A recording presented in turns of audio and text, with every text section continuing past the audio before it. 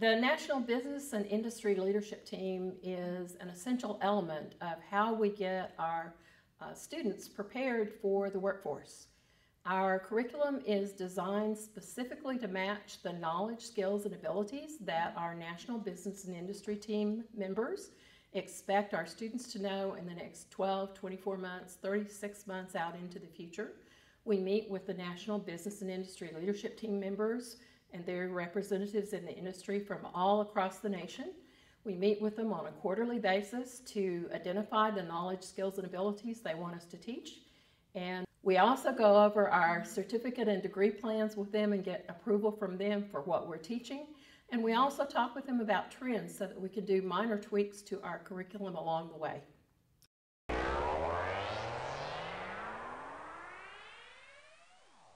Well, I'm kind of the ringleader. I'm the one that put the BILT together and I'm the one that invites people to come.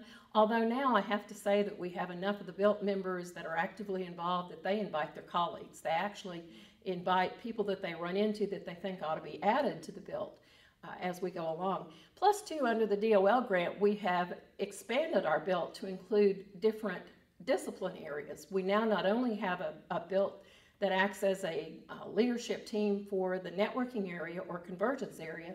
We have one for the cybersecurity area, one for the program area, and also for uh, geospatial technologies.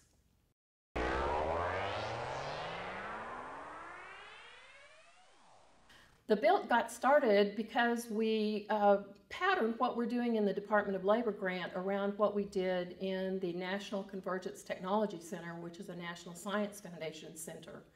Uh, when we began the Convergence Technology Center with the National Science Foundation, the information technology industry was in decline. So we worked with the businesses in the North Central Texas region to basically reimagine and redevelop IT for the entire region. We worked with them in focus groups first and then actually with our process for identifying the knowledge, skills, and abilities that they thought the next wave of IT workers would need to know. The fact that we met with them every three months was very effective in getting them to own our program. And the fact that they actually own our program has caused them to be very engaged with us, such that the students, when they graduate, are very readily employable. We don't really have any problems getting them employed once they finish the program.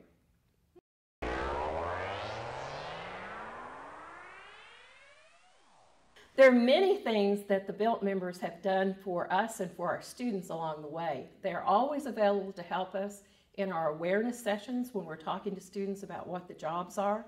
And one of the things that they've helped us with most recently is the virtual internship externship pilot that we did this spring at Collin College.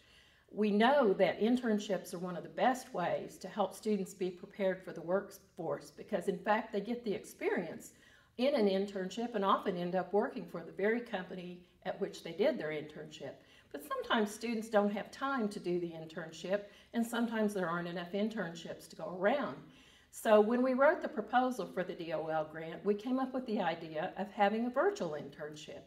The way this works is in a project class, the students come together as a project team, and the faculty member is in fact the project lead and the business person has a real world project or a real world case study that he or she brings to the class, and then he or she mentors the group throughout the semester via webinar. It's not just Collin College that has benefited from the BILT, it's all seven consortium colleges have benefited from the BILT because we do have a national BILT at this point that functions more or less like a board of directors.